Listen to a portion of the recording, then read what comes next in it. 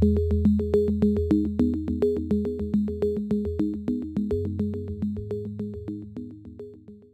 this video, we'll discuss open profiles.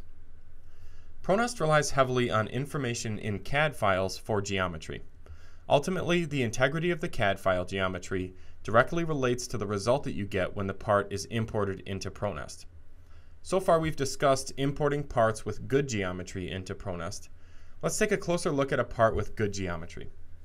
So open the Edit Part List. In this examples folder, I'll select BH Rectangle.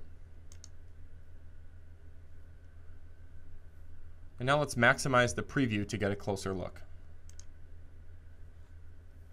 Generally, the CAD file should be drawn so that it has a closed exterior profile. It may or may not have interior profiles, but Pronest needs a closed exterior profile to correctly recognize the exterior edges of the part and then make a toolpath based on that. So this part has a closed exterior profile. At the corners where two sides meet, those two entities share the same XY point. So if we were to look at this in a CAD editor, I'll use 2D CAD for this. This is the same part. Um, you can see that the two sides share the start and end XY points. So up here, this line segment ends at x5, y20, and then the intersecting line segment begins at x5, y20. Now, if the entities that are supposed to intersect don't meet at a single intersection point, there is either missing or extra geometry that Pronest will not know how to handle. Now we'll look at some parts that are drawn incorrectly. Let's exit this preview. So I have some parts that are drawn incorrectly in CAD on purpose. Let's take a look at them now. So I have them in this folder the first is called open profile 0.006 gap. So this part is drawn so that there's a very small gap in the upper right corner. So in the preview, we can see that here. I'll just zoom in on the upper right corner. Okay, and you can see that there's a small gap here. And this is going to cause a problem when this part is imported. Basically, it does not have a closed exterior profile, and these two sides do not intersect. Let's take a look at what happens when it's imported. Okay, the part is imported, but I have some indicators that tells me something's wrong. First of all, this part is not shaded or color filled in the preview. This is because Pronest can't identify the exterior edges. Also, there are some warnings that appear. So in the part list, I see contains open profiles, and then there's a warning here. This tells me that an open profile is detected in the part. There's also a tool I have on right now. Um, this is telling me that there's an open profile here as well. On the view menu, I have open profiles selected. And with this one on, the open profiles in the preview will be surrounded by a small box. So you can see that here.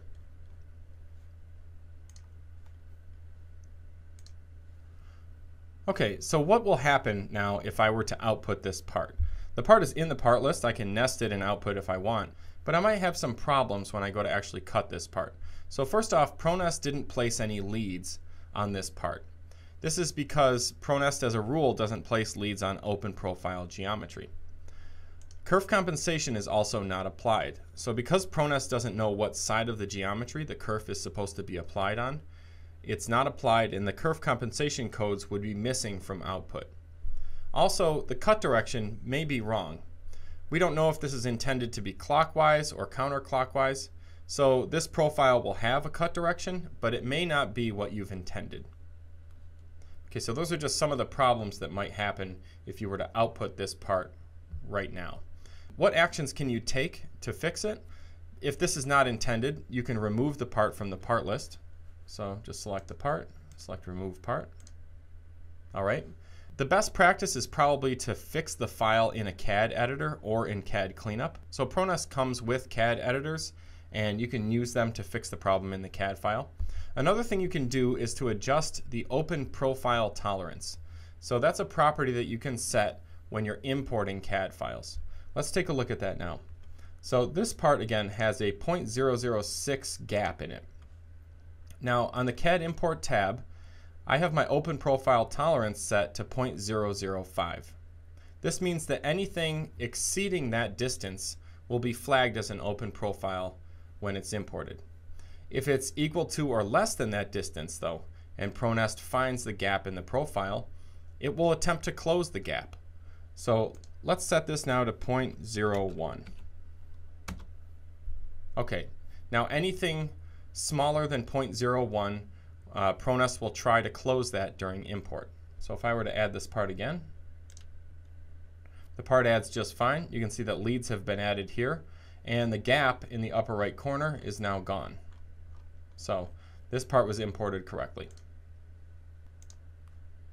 All right, there are some other cases where an open profile problem might happen.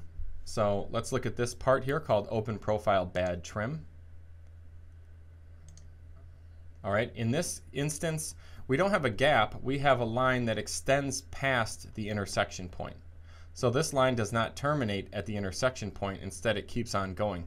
This will cause an open profile problem when the part is imported. In this case, you'd want to trim that geometry in CAD. Okay, also, there's an overlap case where there's two collinear entities, so entities one on top of the other. Let's take a look at that in the preview.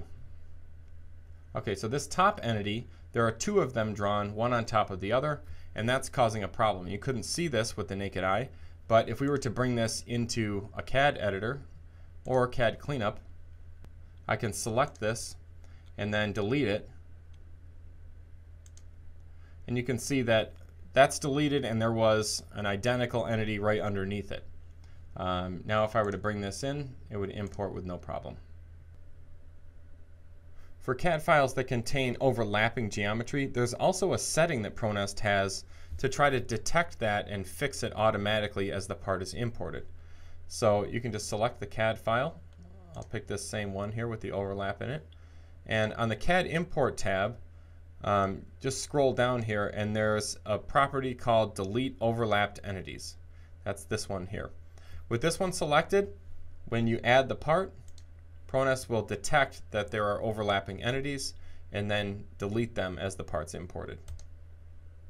Okay, so the part came in. Um, it has leads and no open profiles. We did get a warning here, but if we take a look at it, it just says all overlap entities removed. That just lets you know that ProNest took care of the problem during import. All right, let's delete this part for now. Okay, so those are just three scenarios where you might get an open profile problem. We do have a utility in ProNest called Advanced Edit. In that one, you can close open profiles manually. I'll run through that really quickly. So let's import this part with a gap in it again, and we'll intentionally bring it in with an open profile. Okay. All right, so here's the part. I can bring it into Advanced Edit. This is a part editor within ProNest. All right, and so here's the gap. On the Part menu, select Close Open Profiles. You would click here, and then click again. You want to define the profile type. Okay, and because this is an exterior profile, it will be cut clockwise. And so you'd need a kerf left command. So we'll set that to left. Click OK. Um, now that profile has been closed, you can return to nesting and save your changes. And now you can see that the profile is closed and the part will be cut normally. Note that at this point it doesn't have any leads on it. We didn't correct that problem. That's something that you can fix in ProNest also. We'll get into leads later on in the video series. All right, so these are all steps you can take to fix a problem where you have bad geometry, but there may be instances where you want the part to have an open profile. For example, if you have a part that contains a knockout, like an electrical box, the knockout would be an open profile. Another example might be a relief line that's included for bending purposes. In these types of cases, you would intend for the cut to be an open profile. So let's take a look at that now. In this folder I have a CAD file. That's a drawing of a knockout box.